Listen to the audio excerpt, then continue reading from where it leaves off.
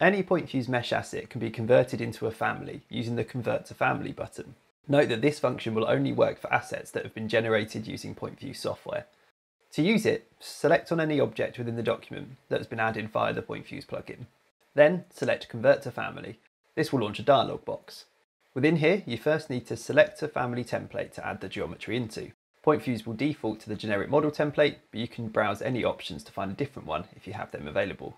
You can also name the family, but note that the name should be unique. The software will flag an error if an existing family name has been found. You can also choose to set a reference level that the family will be placed at. Finally, you can decide whether you want the family to be placed into the model in place of the currently selected geometry. Alternatively, if you uncheck this option, the family will be created but won't be imported into the project. Press OK and a short process will run that replaces the object in place with a family in place, which contains the same geometry and location data. If you scroll through the project browser, you'll find that a family that you have created exists within the structure. You can choose to save this family out so you can easily transfer the object to a different project.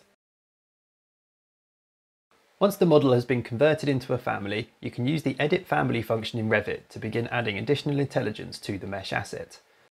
For example, you can use the geometry to accurately place reference planes and work planes for further modelling of an existing asset.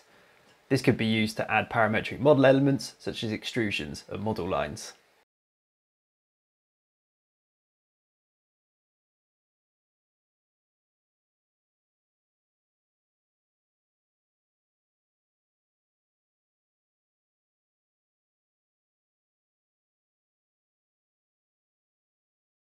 You can also add connections to the model so that services can be linked to the mesh geometry in the same way that you would use a more traditional Revit family.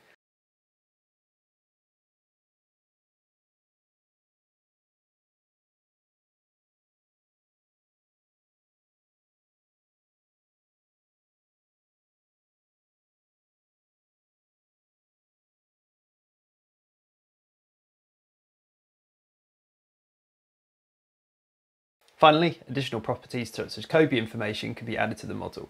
This makes the asset mesh that you've created suitable for asset management processes, but is achieved using a workflow that takes a fraction of the time.